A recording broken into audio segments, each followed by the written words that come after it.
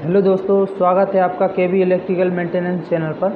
दोस्तों, आज जो हम वीडियो लेके आए हैं, उसमें हम जानेंगे कि जो सब स्टेशन होता है, उसमें किस किस इक्विपमेंट की ज़रूरत होती है और उनकी वर्किंग क्या होती है।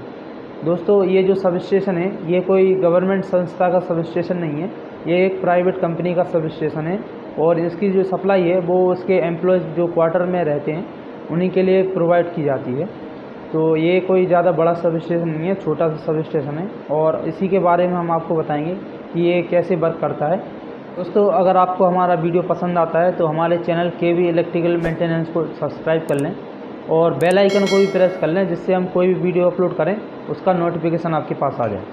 तो चलिए दोस्तों, आज का वीडियो शुरू करते हैं और जानते हैं कि ये सब स्टेशन है, वो कैसे वर्क करता है।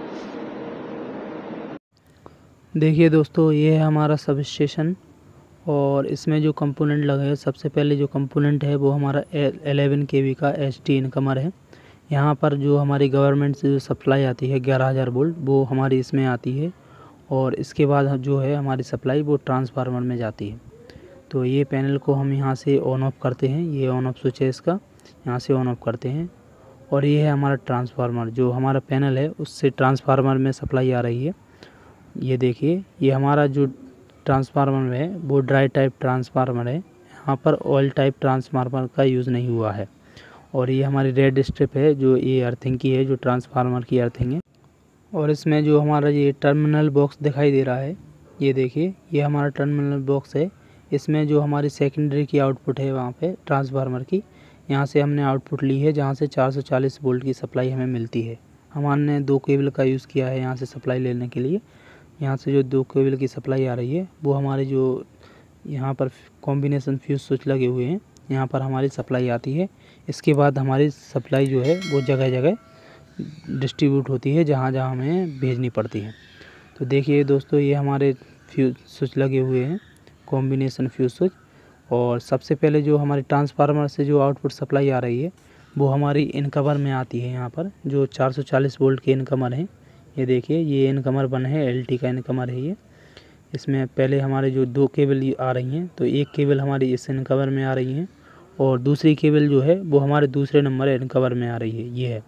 ये दो केबल का यूज़ हमने इसलिए किया है कि इसको लोड को कंट्रोल कर सके, ये लोड ज़्यादा रहता है तो ये केबल हमारी लोड ले जाए दोनों केबल की मदद से।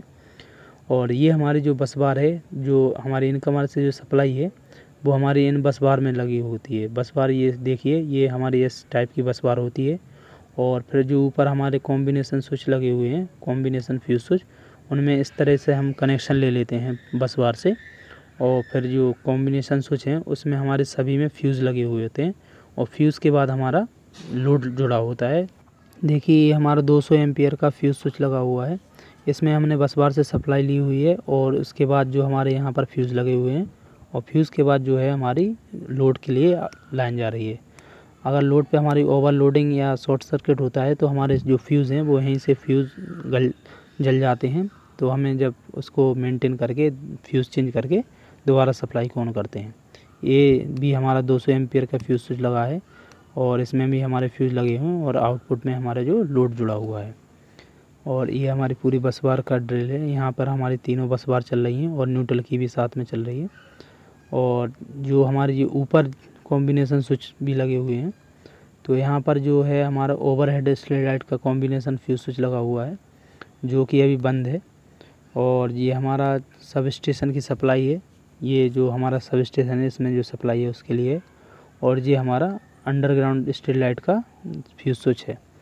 तो ये क्या है, अभी इस समय हमारे बंद हैं, क्योंकि अभी जो स्ट्रीट लाइट की जो सप्लाई है, वो हमने किसी दूसरे सब स्टेशन से ले रखी है, दूसरी जगह से ले रखी है।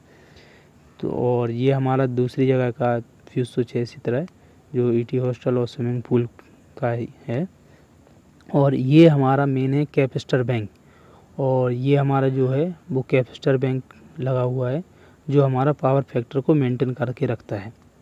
और इसके साथ ही जो हमारा ये फ्यूज स्विच है, ये हमारा 315 एम्पियर का फ्यूज स्विच है क्योंकि इसमें जो लोड है हमारा, वो बहुत ज़्यादा है। इसीलिए हमने यहाँ पर 315 एम्पियर का फ्यूज स्विच को यूज़ किया है।